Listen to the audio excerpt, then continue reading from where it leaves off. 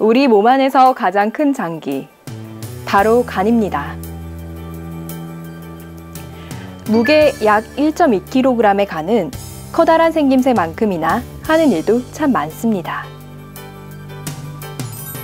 인체의 화학공장이라 불리며 독소를 제거하는 해독 기능과 함께 여러 조직에서 필요한 영양소를 만드는 등 간이 하는 일만 무려 500가지에 달한다고 합니다.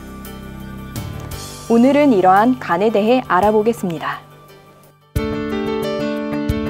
갈비뼈를 둘러싸여 복부의 오른쪽에 위치하는 간은 간 인대에 의해 크게 좌엽과 우엽으로 구분됩니다. 간은 혈관이 매우 발달되어서 짙은 적발색을 띱니다. 이러한 간 속으로 들어가는 혈관에는 크게 두 가지가 있는데요. 바로 간문맥과 간동맥입니다.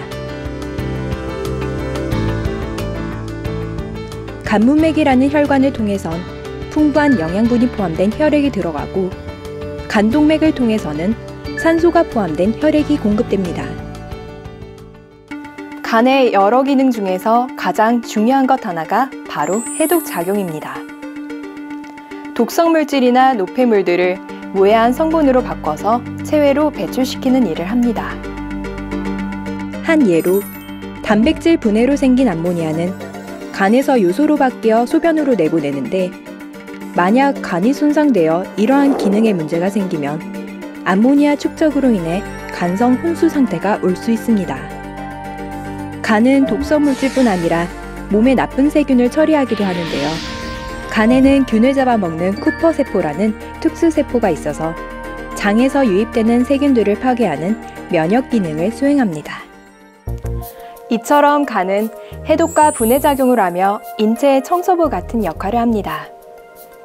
또 한편으론 몸에 필요한 여러 물질을 만드는 생산자이기도 합니다.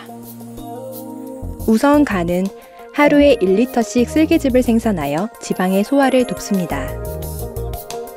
간은 또한 단백질 합성을 통해서 혈액 응고 인자와 알부민 등을 만들어내는데요. 간경화와 같은 질환의 경우 그 기능이 저하되어 코피가 나거나 멍이 쉽게 들고 복수가 차는 등의 증상이 나타나게 되는데 이는 단백질이 부족해지기 때문입니다. 또 간은 할 일이 다 끝난 호르몬을 파괴하거나 적혈구를 재활용하는 역할도 합니다. 적혈구가 적절히 재활용되지 못하면 눈이나 피부에 황달이 나타날 수 있습니다.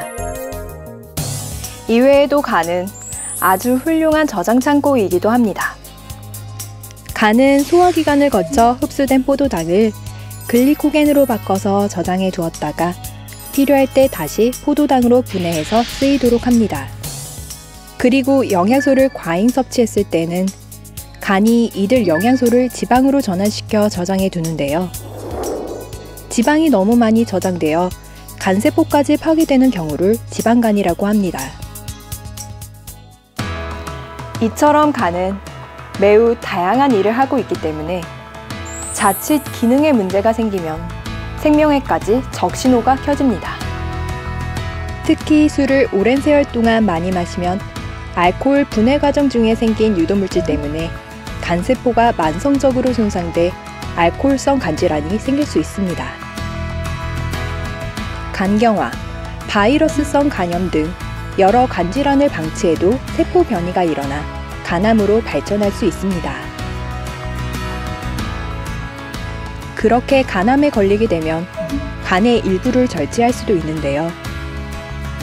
다행히 간은 신체 기관 중에 유일하게 재생 능력이 있기 때문에 일부 잘라낸다 해도 다시 원 상태로 복원이 됩니다. 그래서 간은 단일 장기이지만 생체 이식이 가능한 거죠. 그런데 재생 능력이 좋은 만큼 간은 자신의 80%가 손상될 때까지도 전혀 신호를 보내지 않습니다. 그래서 침묵의 장기라고 불리는 간. 이 간 건강을 위해선 검진이 필수라고 전문가들은 조언합니다. 간 질환은 유독 남성들에게서 많이 나타나는 질병입니다. 우리나라 남성암 사망 원인의 2위가 바로 간암이며 40, 50대 남성들이 특히 많습니다. 오늘부터라도 간 건강을 위해 과도한 음주는 삼가하는 등 건강한 생활 습관을 가져보시기 바랍니다.